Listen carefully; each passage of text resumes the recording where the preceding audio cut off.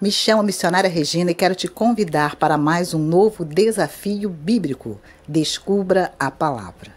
Eu vou revelar duas letras e vou dar uma dica. Então vamos para o desafio? Teste seus conhecimentos bíblicos. E as letras são a letra R e a letra S. Preste atenção nessa dica. É um animal. Sansão usou 300 animais desta espécie para incendiar a plantação dos filisteus. Tempo.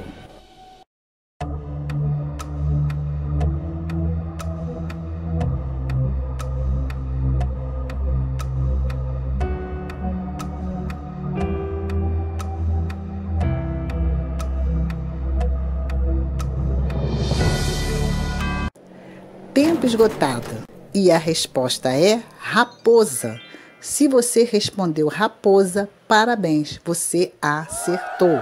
Se você não conseguiu, não foi dessa vez, não fique triste, porque você ganhou conhecimento. Até o próximo desafio. Deus abençoe você e toda a sua família. Ah, e não se esqueçam de deixar o seu like, de se inscrever no nosso canal e de nos ajudar compartilhando esses vídeos. Deus abençoe a todos. Fiquem na paz.